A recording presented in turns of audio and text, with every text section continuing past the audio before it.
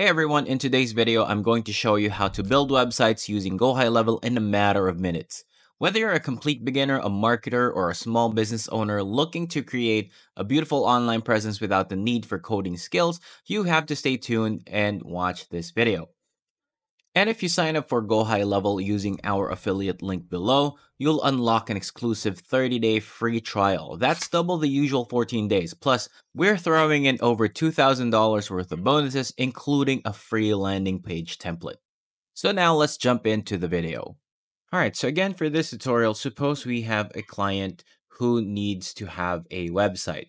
So we're going to go to our sub account and once again, our client's name is, let's say, Euphoria Guest House. It's a resort in Bali, Indonesia. So we are going to create a website for this specific client. So once you go to your sub account, go to sites and click websites. And as you can see, we don't have any websites here on this list. So we're going, going to go ahead and click new website. So you can either choose to create a website from scratch or create a website from the existing templates that we have. So for this tutorial, we're going to choose uh, from templates. And here you will see tons and tons of pre-made templates for your client's website. So again, our uh, client is a resort, so we're going to choose a website template that would best fit our client's business. Let's say a bed and breakfast. So this is the closest um, keyword or uh, list of templates that we can uh, use for our client. So we'll just edit the uh, pictures and the content along the way. So let's uh, try to choose this. Let's uh, see a preview first by clicking this eye icon.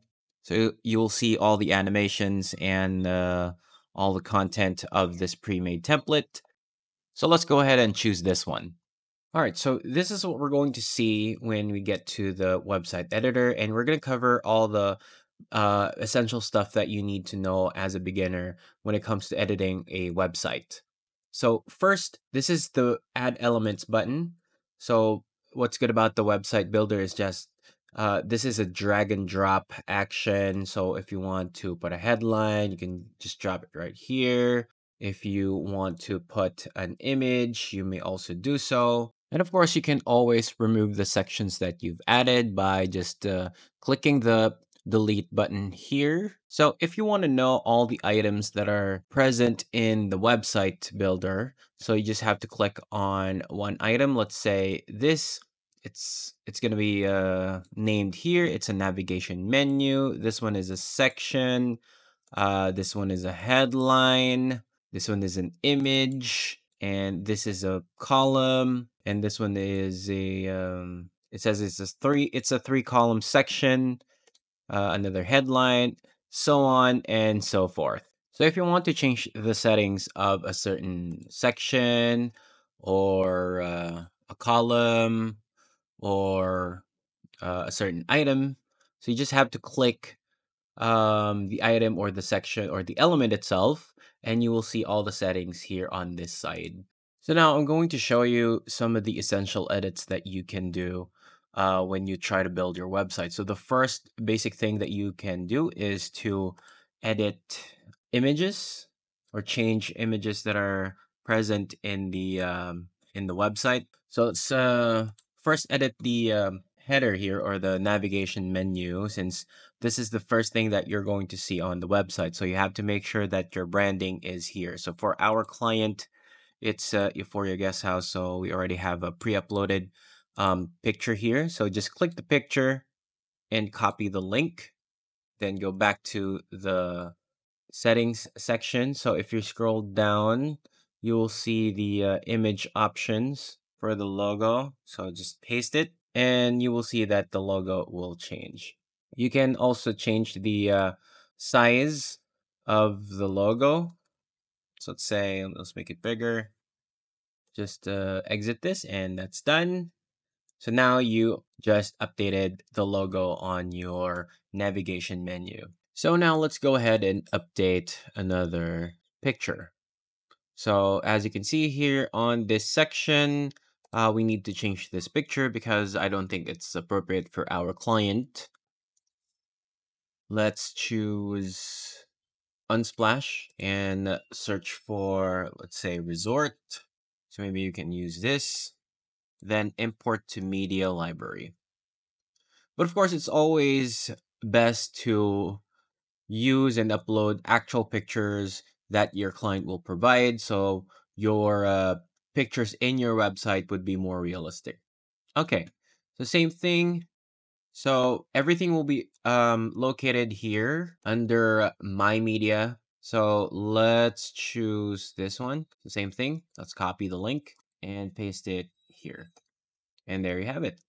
So we already updated this photo right here. Now that I've shown you how to edit the um, items inside your website elements, let's go ahead and add a new element. So click the plus sign right here and you will see all the different elements that you can add like sections, um, rows with columns, other elements like um, buttons, pictures, uh, photo galleries, and all sorts of those good stuff. So let's look at the pre-built sections and let's choose this design right here. So again, this is easy to use. It's just drag and drop. You just click and drag it to your website. Let's choose this design because we want to uh, showcase uh, the rooms of our resort. So as you can see here, we still need to edit the content of this section. So of course you have to change the text of the header right here. You have to change the text inside the columns as well. And maybe um, put some pictures over here. And of course, we also have to edit the button functions. All right, so we already made some edits on the new section that we added. Uh, I'm just going to show you how I edit this real time. So let's change this to choose your room because it's more appropriate. And then as you can see, there is a missing image here. So let's add a new element. All right. And as you can see, uh, the image is not aligned compared to the previous two columns. So this is just easy. As you can see, there's uh, an up and down arrow here. So we just click down and it will switch places with the uh, with the other um, element. So now let's add the uh, image. It's the same thing, copy link, and we're good to go. All right, so I also changed the background of our uh, section right here. So now it's white. It blends with the theme of our website. I also changed the font color of uh, the header right here. So now we don't want this section to be on top of the website. We still want to retain the position of the previous uh, elements that we have. So you can um, change the position by clicking the down button here. Okay, now it's on the third uh, or fourth layer of our website. Now that we're done adding a new element and editing the uh, items inside that new element or section, we're now going to fix the buttons that are in our pre-made uh, website template. So let's start with the navigation menu. Of course, these um, text should be clickable. Click and then the settings will appear here on the right side. So let's try fixing the rooms. So just click here. So you can change the uh, text or the title and you can change the action of this button. So what we want to happen is when we click the word rooms uh, in the navigation menu, it should go to the rooms. So there's a URL here, but it's not really a URL. So let's um, paste the exact um, prompt for this button.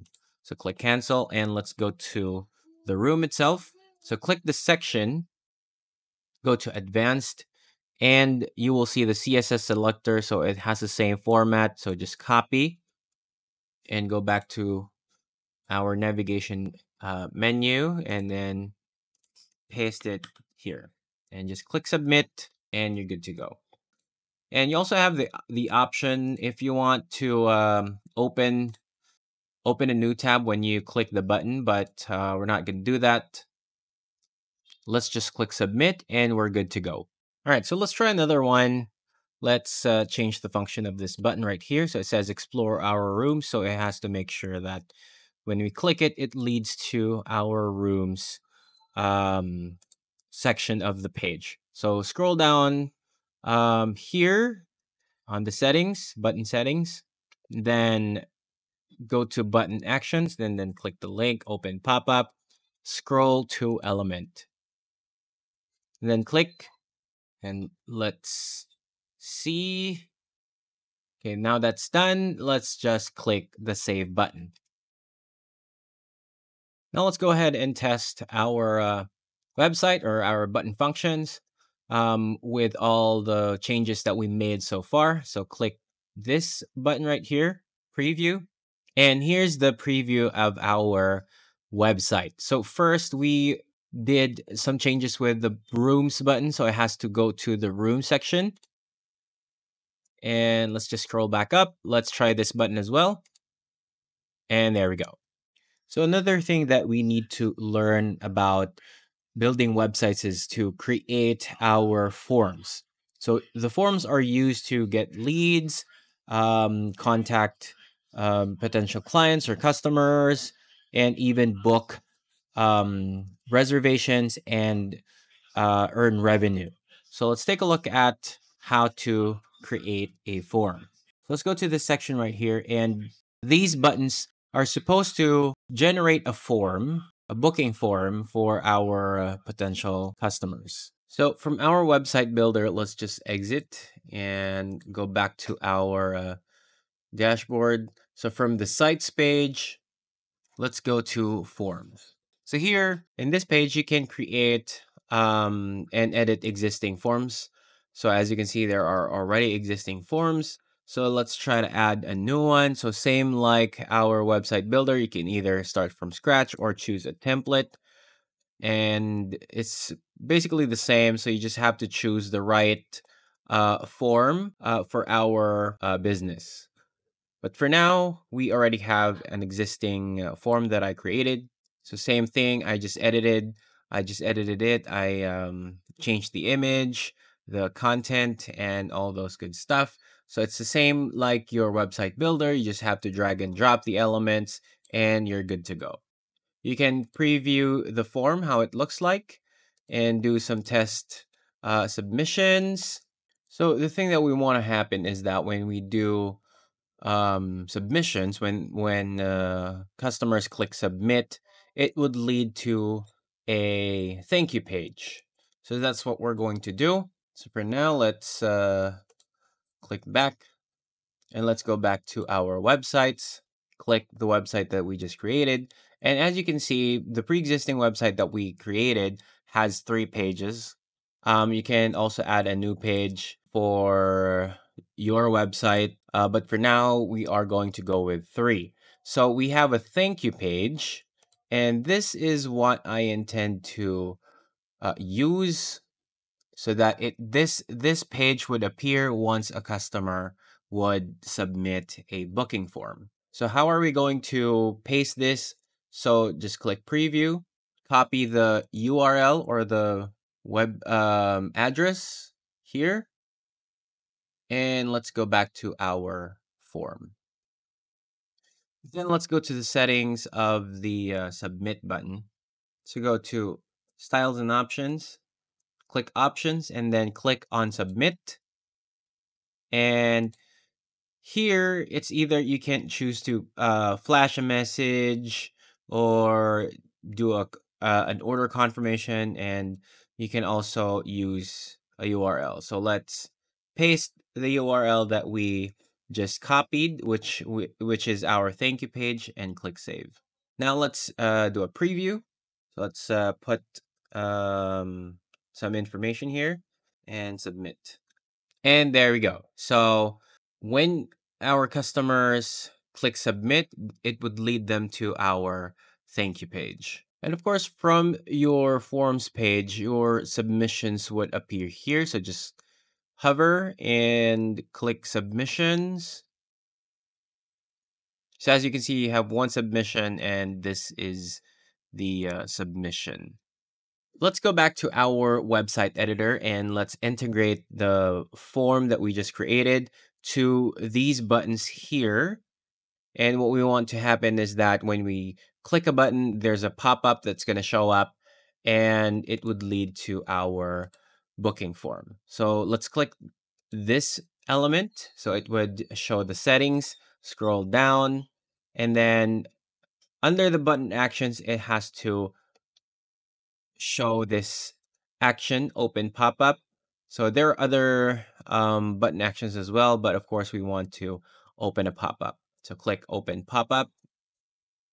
And so here on this navigation menu, go to pop-up settings, click, and so of course we don't have um, anything here yet. So add row. So one column, add element, and then let's add our form. And Go High Level will ask us to choose a form. So of course, let's choose the resort booking form and click save.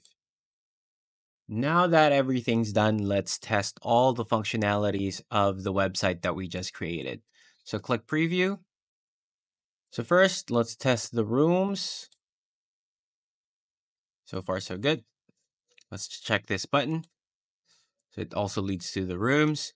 And now let's do a test booking.